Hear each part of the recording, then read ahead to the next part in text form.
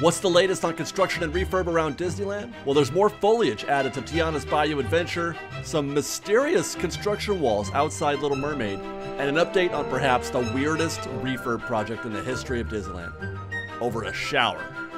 But first, the Mark Twain is calling, and we need to get the latest on the Haunted Mansion. We arrived on this day, on this Friday morning, to find that the big pile of dirt, the first thing I noticed, it's gone where it went, I mean, obviously somewhere else, but what could what does that mean? If there was once a pile of dirt and now there isn't, have they displaced it somewhere? Have those guys put that dirt somewhere? Oh, he's got a big ruler out. What are they doing? Here's a look into that's approximately the entrance area.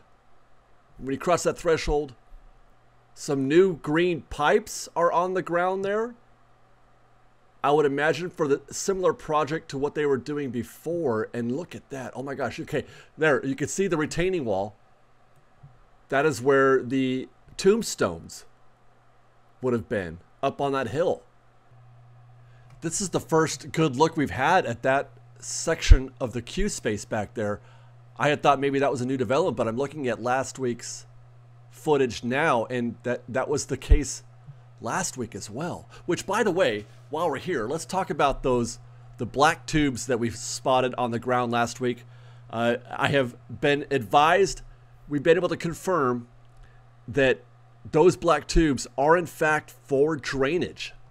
We know already that the principal cause for this update is to install the ADA elevator. That's been confirmed. But they're also building at the basement level of the elevator two CM bathrooms, and a new large cast member break room. And that's where those pipes are going to be installed. So it's beyond just the ADA elevator. There's a whole situation that they're constructing down there to make it a more formal, professional, finished CM break room and ADA access. And as I expected, when we come back this week, as we return back to this footage, those pipes are nowhere to be seen. It's actually I feel like they've cleaned this area up a lot. They that that dirt. That's probably why we can't see those pipes anymore. Is because that dirt that that big pile that we've seen has in fact been displaced and has covered those pipes. They're now that that that part could be done at this point. Green tarp there is the pet cemetery. There's a big pile of dirt there up front. Got a couple of heavy machinery working in that area. I, I was just, again, I'm shocked at how much they're doing to this front part of the attraction. To the, I have thought, I assumed everything would be in the rear queue. Oh man, but yes, that does look like they've cleared out all of that dirt. That dirt has been put back in the ground. Hey, they saved that tree though. That's great, guys. There's a tree that has been spared. So I felt like I didn't get a good enough look the first time around, so we went back around once more. And this view, actually, from the beginning now, is all the way to the right. What you're looking at there is the exit queue. That's the mausoleum exit. Trying again to look again at the front. Okay, there's there's there again is the mausoleum. So the, the boat keeps moving, so it's hard to find a spot to, to focus the camera. Maybe I should go back to the Tom Sawyer Island. There's a oh man, they're doing some heavy digging still back there though. There's again there's a construction worker waving at us, and it's caused me to lose my horizon on the camera. But there was uh, an excavator back there in that space so they're still digging. So the mausoleum looks to be spared. That will not, will not change, which is good. I, I'm glad to see that. At least something's surviving this. So that's the Haunted Mansion. Let's clean the palette with some bootstrappers. If I had a dollar, I'd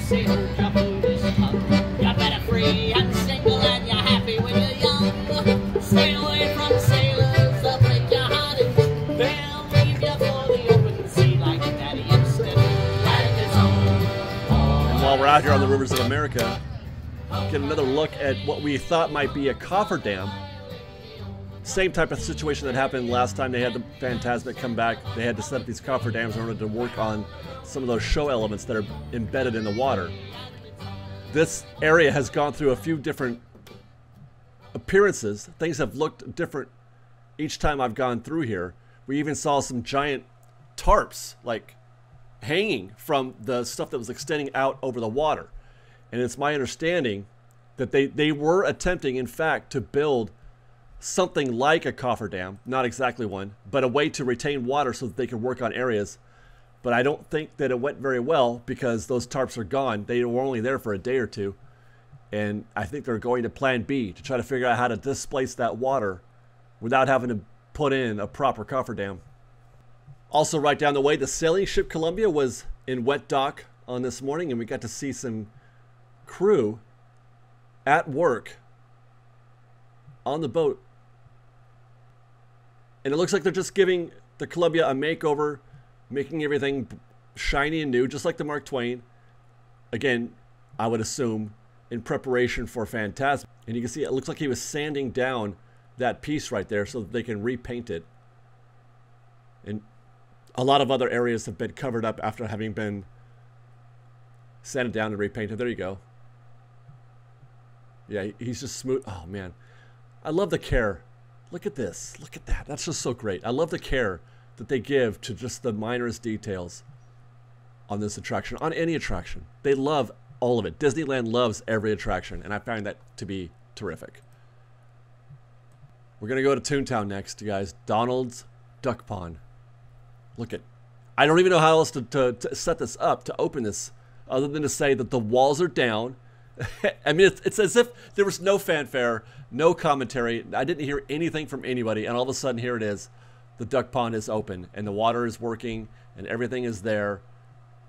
It's it doesn't look like a lot, actually, which we talked about, I want to say, maybe two or three months ago, how we felt like the reasons for the delay in the, with Donald's Duck Pond was wasn't because they couldn't get something to work right. It wasn't for a lack of effort or you know they were being inept in some way. It was a legal issue that everything was just paused or stopped, and we couldn't figure out why. And then last week I heard a rumor that it was because they were building, they had to build a shower. But I guess the city feels like, because the, the, the water comes in contact with the guests, that that required a shower. And I'm pretty sure that's this is what it was all about. Is this shower back here? You can, if you want, take a shower after playing at Donald's Duck Pond. That has to be it. That has to be the rumored legal issue that Disney was. I don't think, by the way, that it took a year to build that shower. I feel like Disney was in negotiation with the city, perhaps. It doesn't take that long to build something like that. I mean, they probably had to carve something out of that area. There probably was some demo, and they probably had to, you know, redirect some water lines in order to get that thing back there and put it out of the way so it's not like part of the show, because you don't want that to be show. You want that out of the show. So that would have created, you know, a, a, a lengthy time frame to do it. But I, I, still, I don't think it took a year. So I feel like that there was some probably some negotiation with the city, and they figured that out, and then they built it, and now we have Donald's Duck Pond plus a shower. And with that, here at Mickey's Toontown, I think we can finally say that it's finished. Mickey's Toontown is complete.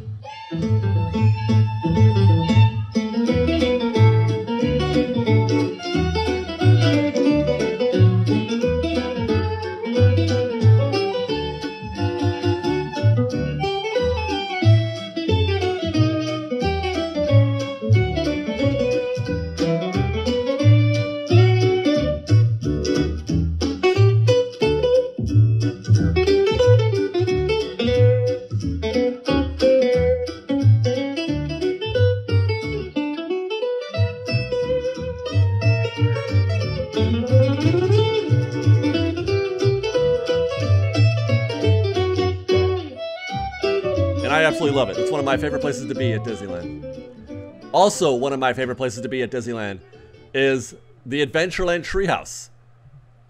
I, you know, it's it is a joy to walk up that treehouse every week so I can get this footage of Tiana's Bayou Adventure. I, I, I do not consider that a chore at all in the same way that I don't consider it a chore to ride the Mark Twain once a week to get footage of the Haunted Mansion.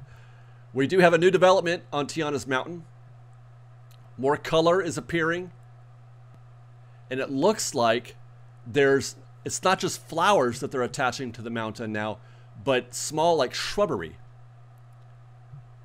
Look at. You see those? That's what those little knobs that I talked about.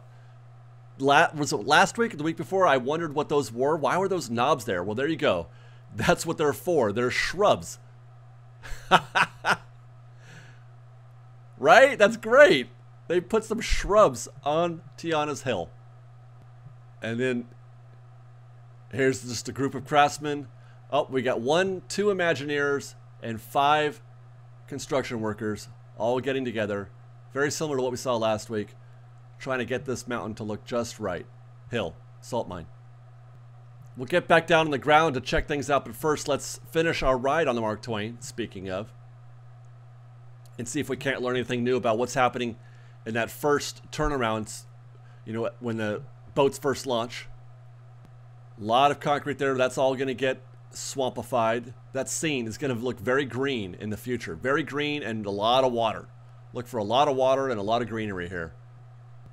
So here we are on the ground.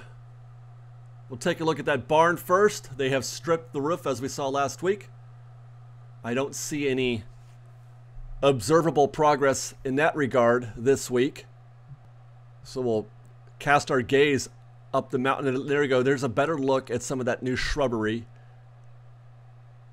It's got a nice layered effect. If you know, you know. There's yeah, and there's the knobs that I was talking about before. Those are now covered in shrubs as well.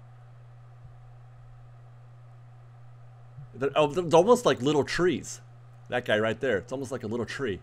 it's so wonderful. I, I really can't wait to see how this, you know, how this all comes together. We're just now beginning to see, we're just in the very, very early stages of this still. The way this thing is going to evolve over the next five or six months is going to be something. Love to hear what those guys are talking about up there on the hill. I'd also love to know what's going on here with the side of the barn. That's been stripped for some purpose. That's the drop right there in the middle of the frame. We're going to try to get right there to see if we can just see anything at all. I do see some movement back there. There are some construction workers working at the top of that hill, but I can't tell what they're doing. And here we got some color so far what we've seen have been mostly green and white, but those that foliage is pink also. So we're getting a little color on the mountain now. And now we can just listen. Lots of ruckus happening here. Lots going on. You can hear it in the background. But you can't see it because I think it's all happening on the other side of that fence line. Pretty sure it's that. I'm going to assume. I'm going to take a stab at this. I feel like they're, they're it's gunite which is basically concrete. You, you spray the gunite onto your surface just the same way you would water out of a hose. But in this case, instead of water, it's liquid concrete. Look at that. The peak to the entrance has been stripped. But we can't see anything from the front. But yeah, above that scrim right there, peeking over the top, you can see that the, the that building has been stripped. Actually, we saw last week, it looked like you could see almost like it was insulation. They've added a layer on top of that now this week through those trees. That's the barn, the entrance, you know, to the, the building that you enter when you go into the queue. Looks like that's going to get a new roof. And the backside of the mountain is now starting to get greenery too. They've applied that, that first layer, the first coat of green stuff. And then in the coming weeks, we'll see them add the same foliage that we've been watching them do to the front of the attraction. Oh, look at that. Okay, so that's this is the, you know, the, where you get your photos, your ride photos, that whole structure that has been closed forever, that's been stripped too. All right, let's check out Tiana's Tunnel. Oh, we got some crew doing work on the roof. I, you know, they're going to have to dress that. Obviously, I don't. Oh, I don't know what that stuff is, but they're going to have to dress that building to make it look more mountainous, hillish, bayou-ish. So that's what they're working on there. It looks like. Meanwhile, there's some new elements being added. That looks. I, I want to say that's electrical. That little rectangular square and circle arrangement there. Pretty sure that's electrical. And there's a construction worker there, obviously He's up to something. Oh. Oh, that's kind of savage. Is he? Wonder what that's about. I'm going to be real curious to see how this develops. What could this possibly be? I want to know how they integrate this new steel with the existing log type theming that, that is there now. How are they going to put those two together? There's another one of those very similar, which I think is electrical components right there in the right third of the frame. So that's Tiana's Bayou Adventure. Let's get into the rest of the park, but first we'll take a quick break and join the Dapper Dans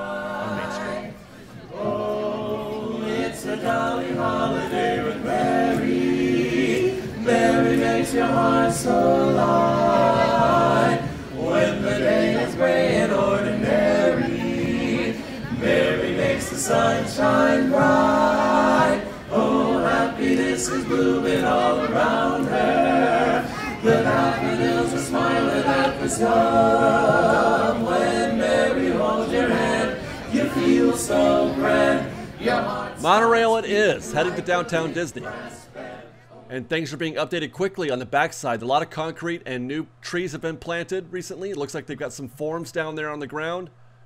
So it's not just simple backstage stuff, but they're up to something there.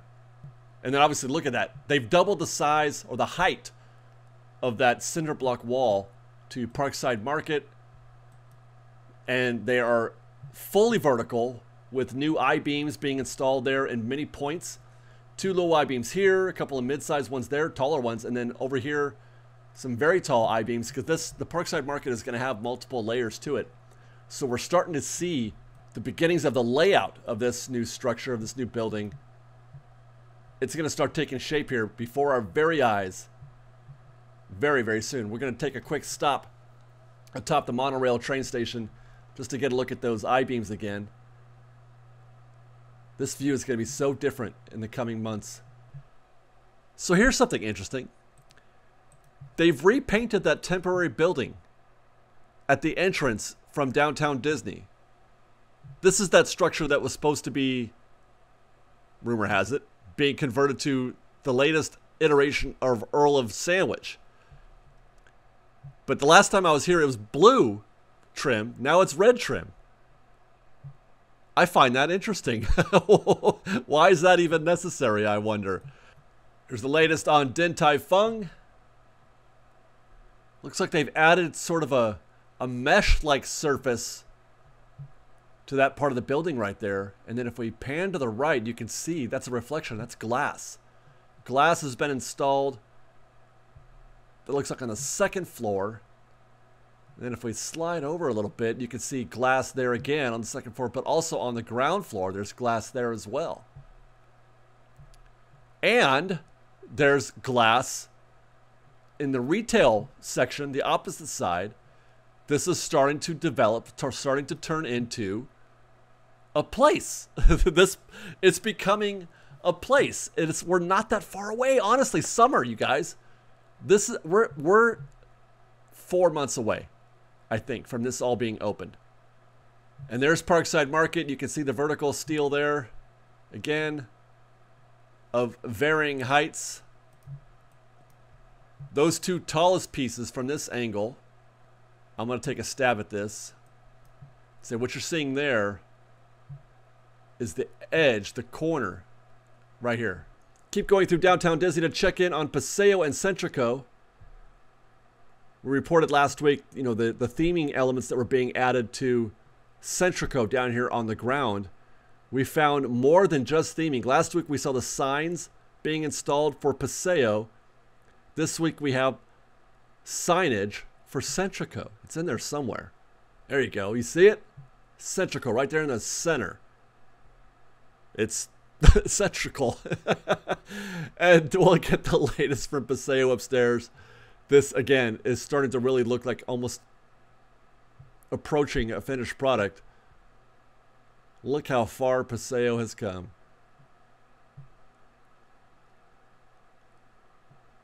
And Centrico.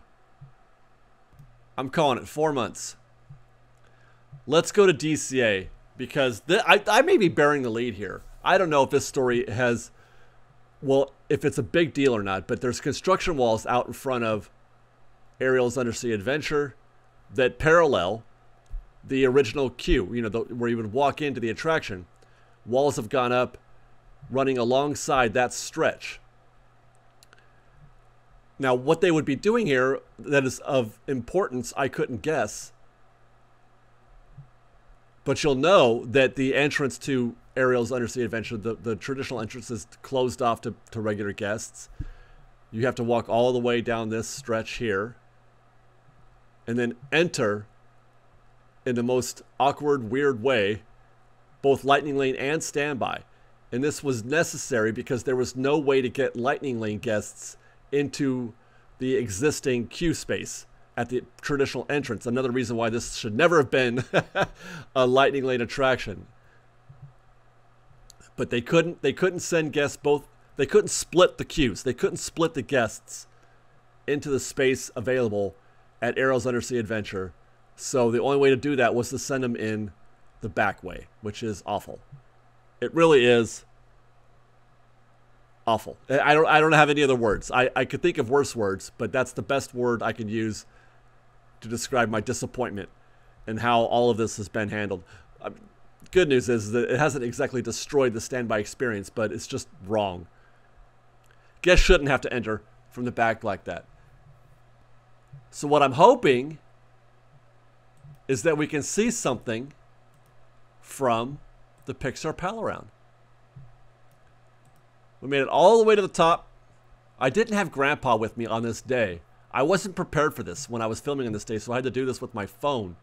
So there's the walls. And it normally in the situation like this, it's because they're taking out concrete. They're going to redo concrete. And I would expect if they were modifying the queue, that those green rails would be removed in order to do what? To widen them, I guess? I see somebody down there, but he doesn't look like a construction worker. He doesn't have a hard hat, so I'm not, I don't think they're actively doing anything at the moment. It is simply too soon to tell what it is they could be doing. I want to be optimistic and say yes, they're building a dedicated Lightning Lane entrance, but at the same time, that saddens me if that is what they're doing because that also means that they are committed. They're locked in on on Lightning Lane. Locked in on Lightning Lane for Ariel's Undersea Adventure and locked in on Lightning Lane Genie Plus in general. If they're going to if they are going to modify a building in order to accommodate Lightning Lane, that means Lightning Lane is here to stay. Redwood Creek Challenge. Bad news for those hoping that this was going to be something Avatar related. I had, you know, my radar up the last couple of weeks, but as I understand it, this is technical in nature, not a reefer, but something that they need to fix.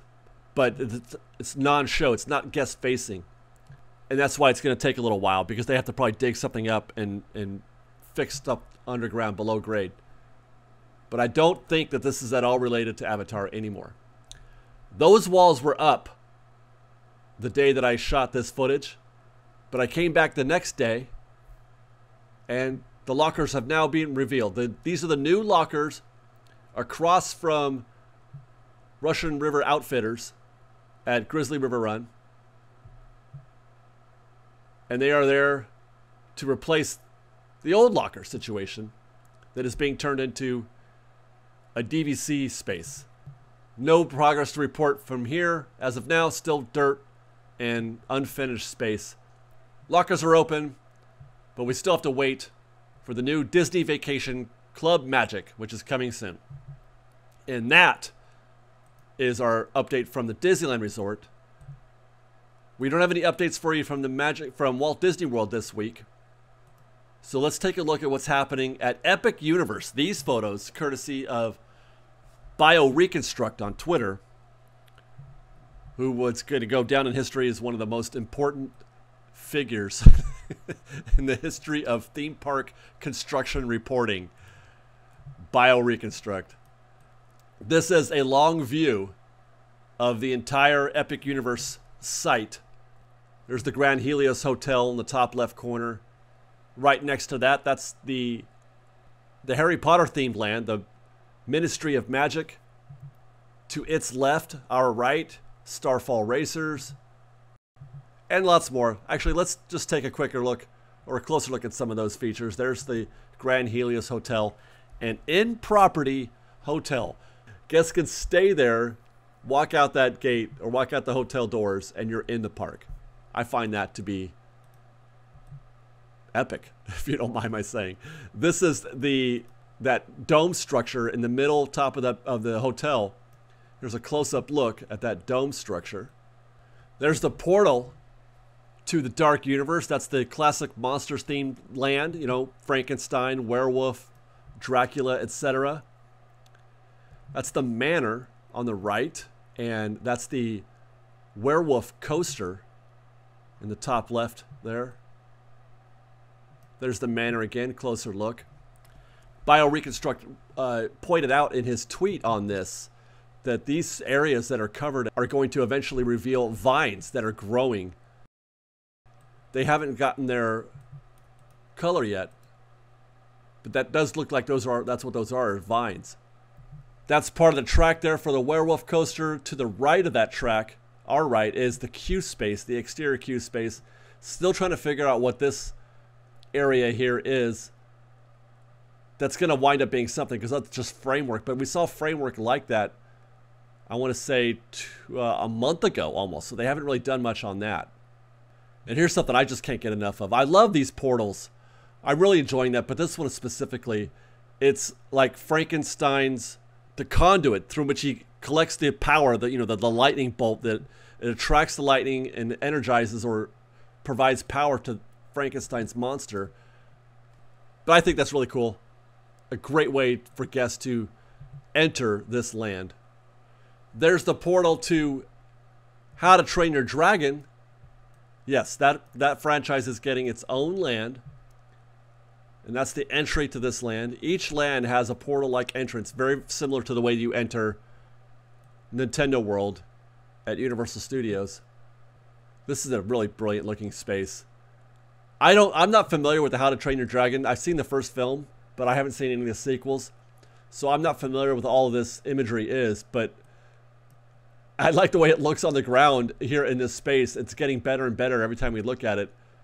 But this is a fully realized, fully developed, or will be, land. I, it just, it looks terrific. That's the coaster, the How to Train Your Dragon coaster. They're to have a, like a, a carnival type ride there in the top left of the frame. That's like a, it's a spinner. And next to that is the roller coaster. And that roller coaster goes through a grandstand. And you're gonna go, this that's what this is right here. It's a grandstand. You're gonna go through that. With cheering fans on it, I would assume. There's more of that coaster and more of the land from a little bit of a longer perspective. You can kind of see quite a bit of that. And there you can also see the Starfall Racers track right there in the top left of the frame. This is a boat ride. So now we're on our third ride, our third attraction now in this land. This is a boat ride. And we remarked about the, the interesting sort of 2D images that are being installed here. As I've come to find out, this is guests are going to be in a boat, but they're going to be firing, you're going to be shooting water at targets you'd be moving around and these, you know, those, a lot of those white spaces, I'm going to assume the reason why they look like that is because they're they're interactive. I mean, they're going to be themed eventually. But guess will be firing water type cannons, I would imagine, or, or not cannons, but pistols or something, trying to score points. That's an interesting concept for a ride. There's a portal entrance to Super Nintendo World.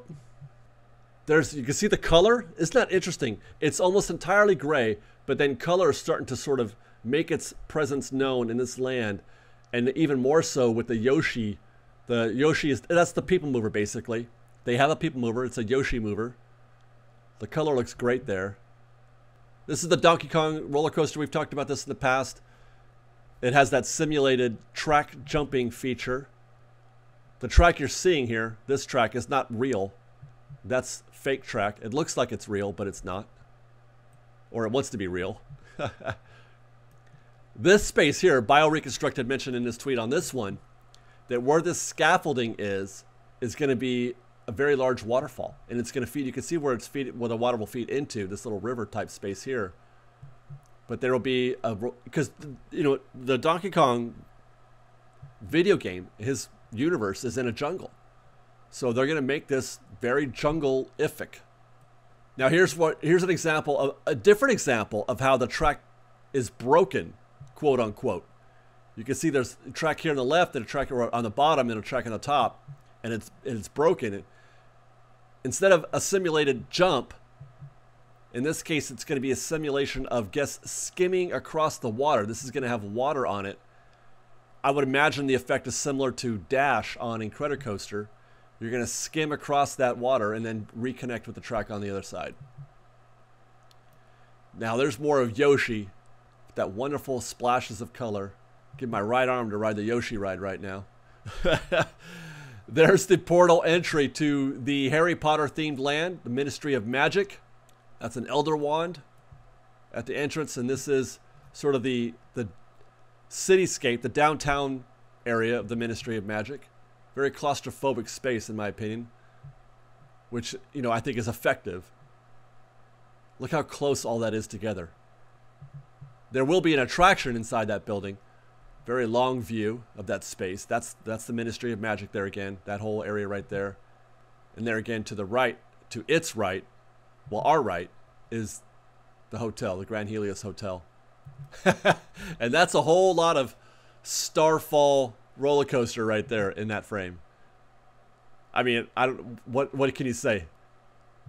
That's a heck of a lot. That's terrific, and that is our show. That's our construction report for this week. I do hope you guys enjoyed. Thank you very much for watching.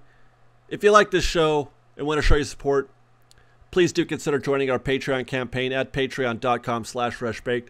You can follow us on Instagram at underscore freshbaked and on TikTok at freshbakedisney.